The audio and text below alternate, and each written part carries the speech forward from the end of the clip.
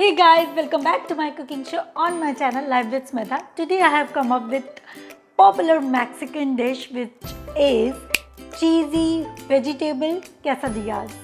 In this video, we're gonna make tortillas from the scratch.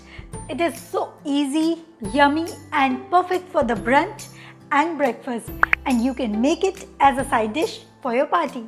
Do watch this video till the end. So without any further delay, let's get started. In a big mixing bowl, take 1 cup of refined flour, half teaspoon powdered sugar, salt to taste, 1 teaspoon oil. Mix everything together, adding 1 4th cup milk,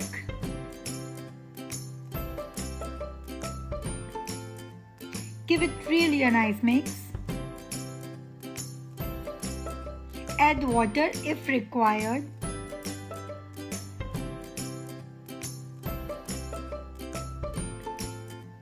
So our dough for tortillas is ready. Let it rest at least for 20 to 25 minutes.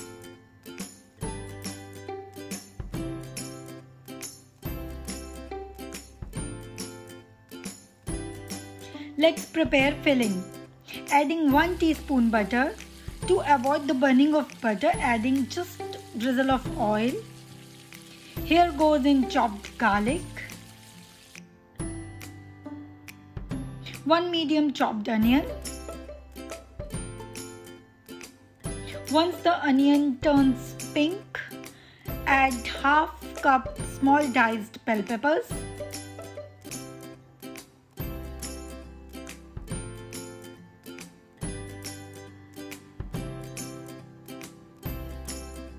Here goes in 1 3rd cup boiled sweet corns.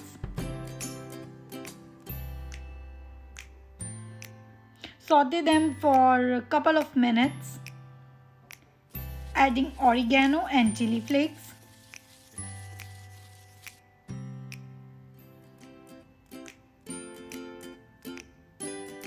Now adding uh, chili sauce. If you had chipotle, you can use chipotle instead salt as per your taste turn off the gas and add 1 3rd cup grated paneer.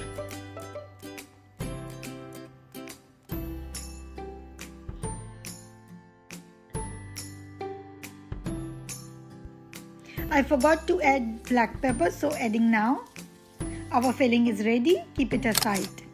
We have given enough time to our dough for gluten formation.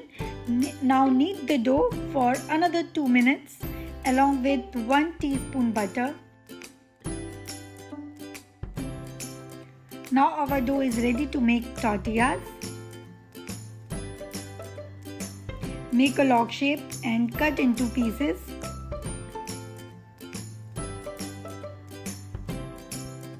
You can make 6 to 7 tortillas from this dough. Let's start rolling.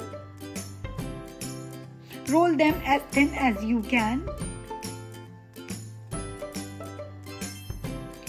Cook it slightly from the both sides. The same way make all the tortillas and cover them with the kitchen towel.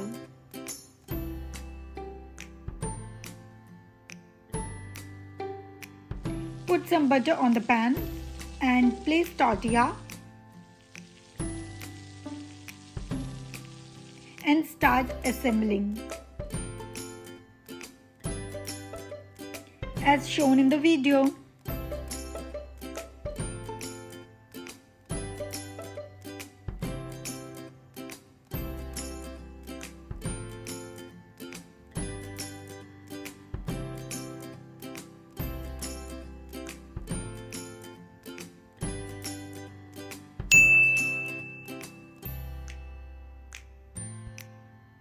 Now fold into half and cook from both the sides.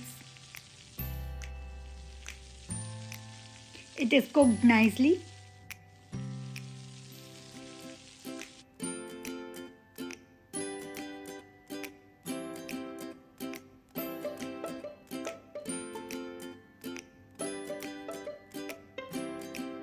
Cut them into two halves. And you can serve them with sour cream or salsa.